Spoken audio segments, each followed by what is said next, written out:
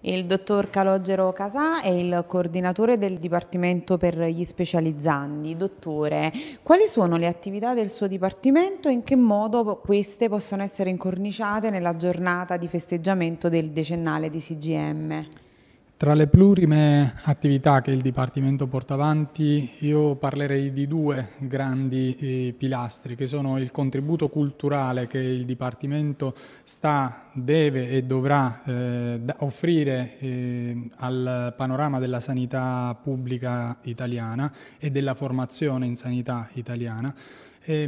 l'altro pilastro è puramente associativo e di relazioni con coloro che fanno parte del sistema eh, di formazione, ehm, in particolare coloro che ne fruiscono, quindi gli specializzandi, i medici in formazione specialistica. Il contributo, il contributo culturale è sicuramente quello di eh, approfondire e di ricercare quali sono i valori del nostro sistema di formazione e consentire di evolvere verso un sistema che rispecchi eh, i tre capisaldi che noi ci siamo un po' dati, che è quello della programmazione, quello della qualità e quindi quello della formazione, perché senza programmazione quantitativa, ma senza una programmazione qualitativa, la formazione rischia di diventare un'illusione. Il contributo culturale è importante soprattutto in un tempo in cui eh,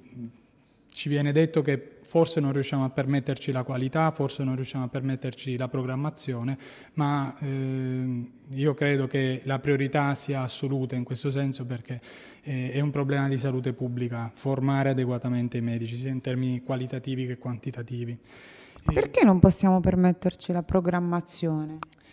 Ad oggi quello che um, si sta portando avanti sotto diverse forme in altri contesti è un sistema in cui si vuol dire eh, di abolire il numero chiuso all'origine o di non controllare adeguatamente la qualità della formazione. Mm, non si vuole rispondere con, eh, al problema della carenza di medici, o meglio di medici specialisti, di medici formati per entrare nel sistema sanitario nazionale e si vuole mettere la polvere sotto il tappeto talvolta ehm, rispondendo che non occorre una formazione particolarmente alta, non occorre un luogo dedicato alla formazione, non occorre rispettare una serie di requisiti per poter diventare luogo di formazione.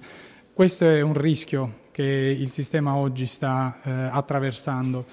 Ovviamente il contributo culturale in questo senso è solo un, prim un, primo aspetto perché ovviamente il sistema di formazione è un sistema che è, è, attualmente in atto, non è un sistema futuro. E chi ora si trova a fare la specializzazione si trova a dover lottare con problemi di formazione reali eh, in cui noi eh, interveniamo non già come tutori quanto come eh, in, in, maniera sinergica con i colleghi che trovano difficoltà all'interno dell'ambiente di formazione onde stimolare un una migliore qualità del, del percorso stesso.